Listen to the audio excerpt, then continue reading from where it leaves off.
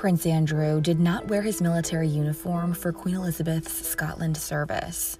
On Monday, the Duke of York joined his siblings, King Charles III, Princess Anne, and Prince Edward, at a service of thanksgiving for their mother, and was noticeably the only one not wearing the traditional style. According to the New York Times, Buckingham Palace stated that Andrew did not wear the uniform because he is no longer a working royal. Andrew stepped back from his public duties in 2019 and later returned his military affiliations and royal patronages to the Queen after being accused of sexual abuse in a lawsuit brought against him by a woman who says she was trafficked to him by Jeffrey Epstein, claims he has denied. However, the palace told the Times that the Duke, who served in the Royal Navy in the 1982 Falklands War, will wear a uniform in the final vigil for his mother, quote, as a special mark of respect.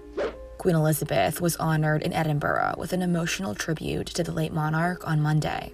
During a service of thanksgiving, the crown of Scotland was placed on her coffin, as her children, King Charles III, Prince Andrew, Princess Anne, Prince Edward, and the Queen Consort watched on. Her Royal Highness's coffin was draped with the royal standard in Scotland and dressed with a wreath of flowers. Following the service, Queen Elizabeth will remain at the church guarded by vigils from the Royal Company of Archers to allow the people of Scotland to pay their respects before she is flown to London. Her Majesty's coffin was taken in procession to the service from the Palace of Holyrood House, where she arrived on Sunday. In an emotional gesture from the moment, the Princess Royal was seen curtsying to the coffin at the monarch's residence.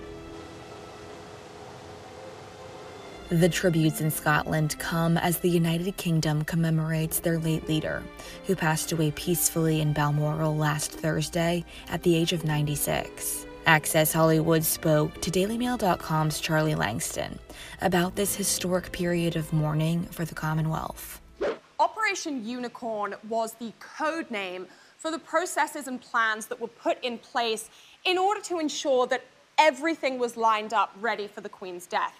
And this really covers everything from funeral arrangements to the transportation of the body, timing of everything, and so on and so forth.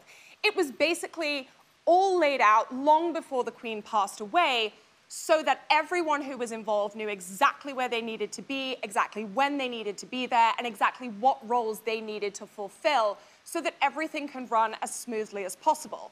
Now, a slight spanner was thrown in the works because the Queen was in Scotland when she passed away.